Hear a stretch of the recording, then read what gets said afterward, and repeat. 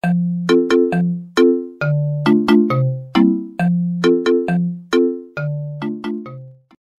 friends, this is Panth Patel. Welcome to Design Guru. Today we are going to see the design of hook using Creo. So give the name of your file. You can also change the units and then you can give the name of the designer or the model who is designing it. You can also describe your model. We are going to use the same name as hook in descriptions. Click OK. We are going to sketch. We are going to sketch the path of the hook as we are going to use blend command for making the hook we all know that we have to draw the path or trajectory first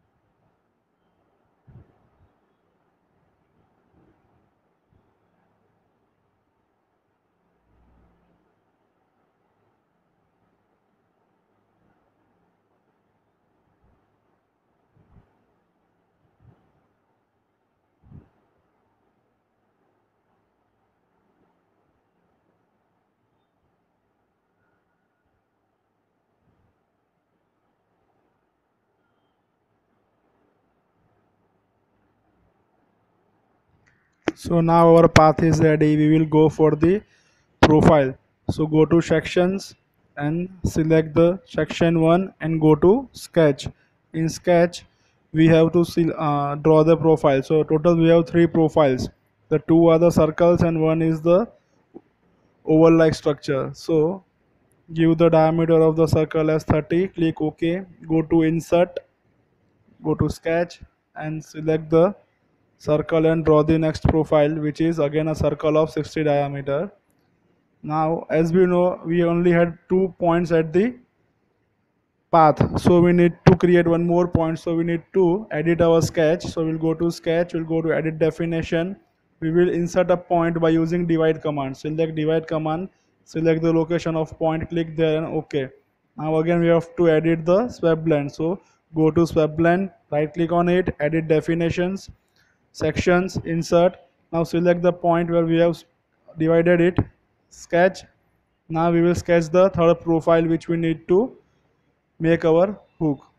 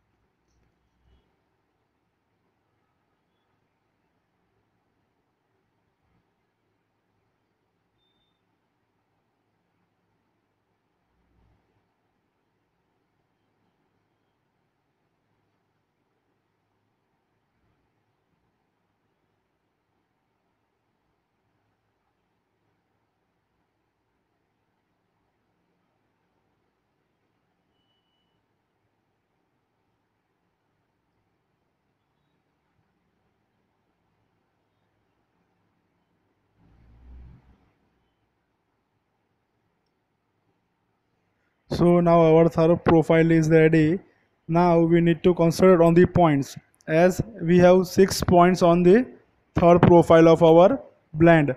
And in circles we didn't have any points. So we need to divide our circles in six points. So again go to section 1 sketch. Uh, using the divide command you can divide your profile. So first point second point third point fourth point. We are keeping the points or dividing the object approximately according to our third profile. And okay now again go to section second. Second circle we made. Again divide the third circle is the same way. First point second point third point fourth point fifth point and the sixth point. And okay again you need to go to the section 3 sketch and just come out again. So now our hook is ready. So we have used the swept blend command hope you all understood how to use swept blend and we will complete our hook by using the extrude